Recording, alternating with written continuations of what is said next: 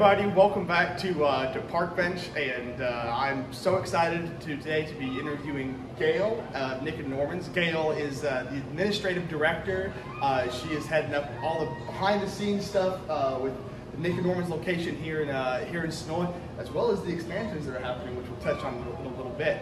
Um, but I'm really excited to be here. I have to say this at the beginning, Gail and I both were servers here at one point together, and so it's really cool to see you know, see things change and see you kind of take on a, uh, um, a really, really awesome role with Nic and Norman. So, yeah, it's well, crazy. Gail, why don't you first of all maybe tell us a little about yourself and your background with the restaurant and uh, the Nic and Norman's here in Senoia. Okay. Well, I started with Nic and Norman's about two and a half years ago. Um, it's coming up on three, and uh, yep, as a server. Um, it was just a great time. One of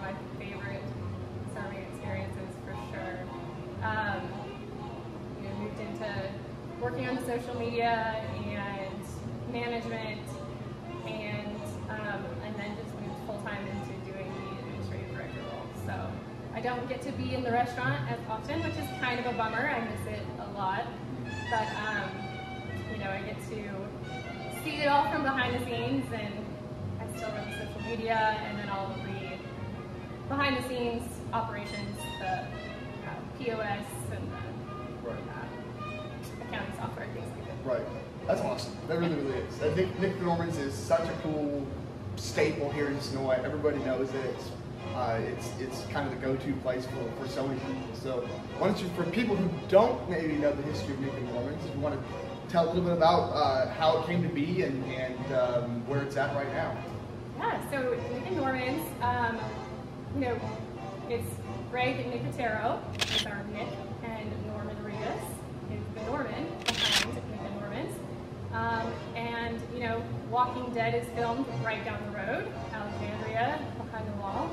And they wanted somewhere to hang out, you know, when they're done filming, somewhere close by. People could have a good time, um, and fans as well, not just, you know, crew. So they created Nic and Norman's. Um, about, let's see, we're coming up on five years in June. So, um, you know, they wanted to stick true to kind of what the building was before. Um, you can see a lot of the exposed brick. Um, you know, it was a restaurant before Nic and Norman's. But um, we love just keeping things kind of with like a like original vibe. Right, right. Like an older time. So it's uh, it's such a cool experience in here. I'll, I'll, get some, you know, I'll do the footage of it later. But the, the decor in here, it's it's kind of like Victorian style, and, people absolutely love it. Uh, I, know, I, know, so many people who, who enjoy the, the, the look in here and um, and just just come and hang out. So. Um, wanted to talk also real quick about something cool that you know maybe most a lot of folks may not realize. Uh, but when COVID hit last year, uh, Nic and Norman's did something that was just phenomenal. So I wanted to give you the opportunity to just tell people what you know what that was like and uh, what what Nic and did for the community. Oh yeah, we um, well we just didn't really know what to do um, as far as keeping our employees working. Um, you know, a lot of them still wanted to work, and so we we transitioned into a grocery store. We had Sysco reach out to us um, they were unable to get all of their products to grocery stores because grocery stores don't have that um, agreement and they can't accept it. So they reached out and they were like, how do we get this out to the community? We were like, we will help you. So we turned this entire space into a grocery store. Um, it was contactless, you'd order online, and people would bring it out to your car. Um, I mean, it was great. It, we had uh, we just tried tomatoes, which is actually now a menu item. It's a little different yeah. than the way it was sold in the grocery store, but you know, it's still pretty cool. Um, I mean, people really enjoyed it. People uh, got access to toilet paper and just bulk meats that were really hard to get, right. and uh, it was just it was really cool to be able right. to get that out there. Yeah, I remember seeing that and I think myself, that was it was so hard to find some of your food staples, and, uh, and here you have a restaurant in town who has a supply chain that they, that can't be redirected, and right. so to quickly be able to pivot uh, and uh, and also keep keep employees employed throughout it was, was really really cool to see. Um, I know that Nic Norman's is uh, is big on you know, supporting the Senoia community, and uh, but even though there's one here in Senoia, I know that there's some big news that is now finally you know finally happened there in Chattanooga. So Yeah.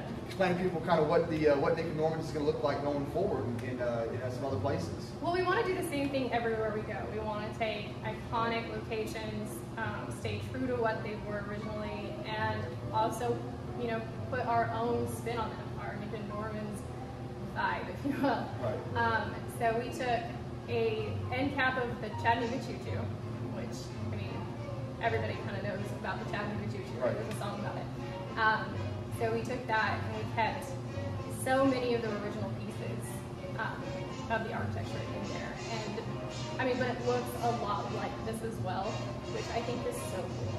So we had a lot of fun with that location. We just started brunch up there. I mean, Chattanooga's love to brunch, so Yeah. we did start brunch up there, um, and it's going well. It's great. And we plan on doing that everywhere we go. Just you know, keeping true to the location and. Right, right. One, one of the really cool things uh, that I remember when I was here uh, was our Sunday night Walking Dead showing, and I know that you know the news is already out. The uh, the Walking Dead is uh, is fin- finally wrapping up. We're in the last season of it now, but um, are those those are still going on on Sunday nights? People are still able to come. Is that is that right? Or Yeah, we have we didn't do that in Chattanooga. Right. Um, you know, we plan on putting it on the TVs that are in the bar area there, but, but we won't do the viewing parties because that's you know that's a that's a special Senoia thing. It is, You know, we got that going on here. Um, but yeah, we'll definitely do that for the final season. I mean, we can't not. No, I- I remember, uh, and we, we would all dress as characters, and I think I came I came as uh, as Negan one time, or I'm sorry, the the, the governor. Um, and, Oh, uh, you were perfect. yeah. so um, it was uh, it was a lot of fun, and, and uh, I remember those um, the staff here is, is fantastic. so great. Yeah. And um, now, uh, what what do you think uh, is is coming up here at the Senoia location? Is there new menu items you want to tell people about, or is it just some cool new features, new merchandise, things that maybe people who haven't been uh, into Nic and Norman over the last you know six, seven, eight months uh, ought to know about? We did just tweak our menu just a little bit here. Um, um, you know, I do believe they're going to start some construction on patio space. right. Yeah, right in front of our building. So we'll have some outdoor seating, which Yeah. is huge. Absolutely. Um, especially right now, um, people are always looking for that. So that'll be huge. And then who knows, with that may come some brunch. Yeah. Yeah. Um, and then always, always new retail items. So, Right. Word on the street is that we may be getting some jewelry. Oh, okay, awesome. You know, Yeah. pretty cool. Yeah, so we're always um, the Nic and Normie's line was the most recent. You've seen it, it's a little cartoon. Norman and Greg, kind of them now, but in like a kid form. Right. So we, we rolled it out for children and had so many adults requesting it that now we have adult shirts as well. Right. So, um, I mean, we're always trying to come up with new fun things. Right, right. so. That's awesome. And It's, it's, it's so cool that, that Nic Norman is, is involved in the community. I know y'all cover it at some point when I, when I get the interview done on the farmer's market, but there's a footprint there as well. Yeah. Nic Norman has its own little mini bar there in our farmer's market, and you can go and get uh, get beers and uh, Bloody Marys on Saturday mornings at the farmer's market, mimosas, which is such a cool little spot in there. And I'll, I'll And that's sure- occasionally actually where we test all of our brunch items. Oh, okay, so- most definitely. So if you uh, pay attention to social media, that's where we'll post um, that we're throwing out some brunch there. Awesome, awesome. Well, I'll make sure to put the uh, the social media tags, you know, kind of along the bottom of the screen, and uh, you know, Nic and Norman's has probably one of the biggest social media followings in town. But if Oh, yeah, for well- some reason somebody's not following already, y'all should definitely uh, definitely check out their social media. They, Gail, you do a phenomenal job with it. But, uh, Oh, thank you. Thank but yeah, it's it's a lot of fun, and um, I'm excited for Nic and Norman's. Uh, I love it. Like I said, I've worked here as well, and it's it's so cool to see uh, the folks who've been here, you know, continue to grow the business and uh, and expand the footprint of it.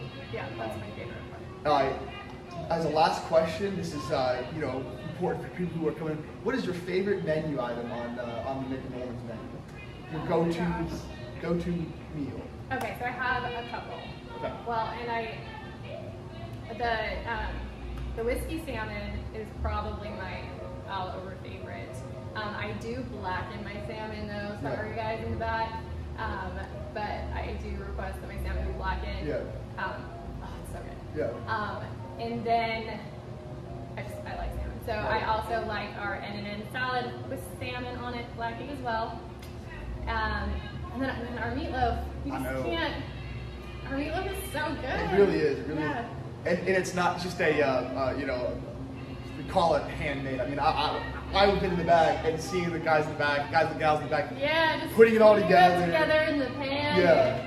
I mean, it, then it's just like a clump of meat, but it comes out so good. Yeah, it really, really is. So, it's amazing. Yeah. It's, uh, Yeah. we don't just say that; it really is so good. Absolutely. All the time. Absolutely. Well, Dale, I appreciate taking a couple minutes out of your day. And I'm, I'm really excited that Nic and Norman's gets to be the first restaurant that I interview.